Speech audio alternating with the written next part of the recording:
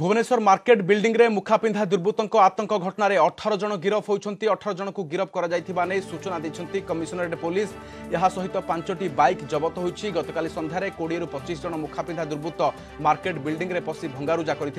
এসহ দোকানী গোড়াই গোড়াই পিটিবা সহ মারণাস্ত্রের আক্রমণ করে যার চিত্র সিসিটিভিরে কয়েদ হয়েছে ସୂଚନା ମୁତାବକ ଦୁଇ ଜଣ ଗ୍ରାହକଙ୍କୁ ଦୋକାନୀ ଦୁର୍ବ୍ୟବହାର କରିଥିଲେ ଏହାପରେ ଏମାନେ ଦୋକାନୀକୁ ଆକ୍ରମଣ କରିଥିଲେ ଏଥିରେ ଦୁଇ ଜଣ ଗୁରୁତର ଆହତ ହୋଇଥିଲେ ଖବର ପାଇ ଘଟଣାସ୍ଥଳରେ କ୍ୟାପିଟାଲ ଥାନା ପୋଲିସ ଏବଂ ଭୁବନେଶ୍ୱର ଡିସିପି ପହଞ୍ଚିଥିଲେ ଦୁଇ ଜଣ ଆକ୍ରମଣକାରୀଙ୍କୁ ଗିରଫ କରିବା ସହ ଆହତମାନଙ୍କୁ ମେଡିକାଲରେ ଭର୍ତ୍ତି କରିଥିଲେ